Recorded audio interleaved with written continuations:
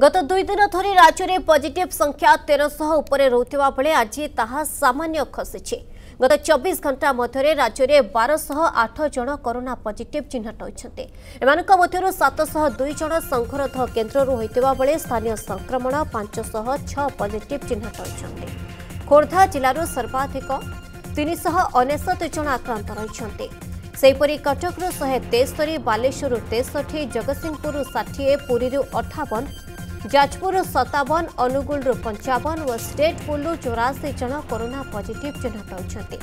ବର୍ତ୍ତମାନ ସୁଦ୍ଧା ରାଜ୍ୟରେ ନଅ ଲକ୍ଷ ଚଉରାଶୀ ହଜାର ସାତଶହ ଏକତିରିଶ ଜଣ ପଜିଟିଭ୍ ଚିହ୍ନଟ ହୋଇଛନ୍ତି। ସେହିପରି ନଅ ଲକ୍ଷ ପଞ୍ଚଷଠି ହଜାର ତିନିଶହ ସତୁରି ଜଣ ସୁସ୍ଥ ହୋଇଛନ୍ତି।